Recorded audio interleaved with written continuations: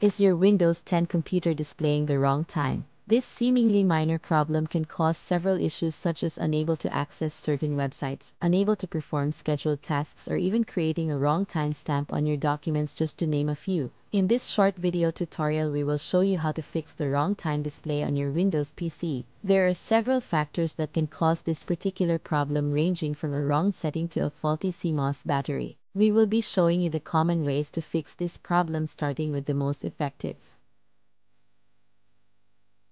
First, change date and time settings.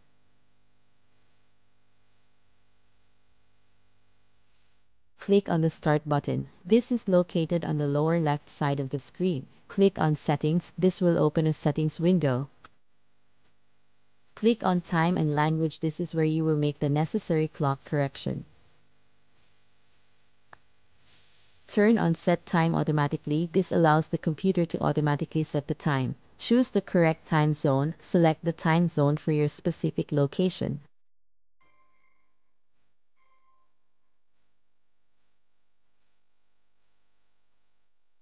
Click on the Sync Now button. This will sync your computer clock to the time server. Then, restart the computer. Then check if the Windows 10 clock time wrong issue still occurs. Next, set Windows Time Service to start automatically. To do this, type services.msc on the search bar. This is found on the lower left side of the screen just after the Start button. Then, click on the Services app. This will open a Services window. Double-click on Windows Time. This is found on the bottom part of the right pane. Select the General tab. This is the first tab on the Windows Time Properties window. Then, set Startup Type to Automatic. Then click on Apply and OK. This allows the Windows Time service to run automatically every time the computer starts. Then, restart your computer. Then check if the problem still persists. Next, change the Internet Time Server. There are instances when changing the time server that your computer is using will fix the problem. Right-click on the system time located on the taskbar. Click on Adjust Time, Date. Click on Add Clocks for different time zones.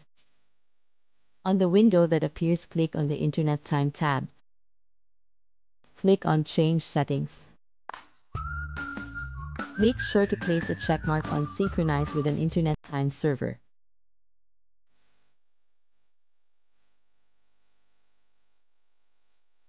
Choose a time server.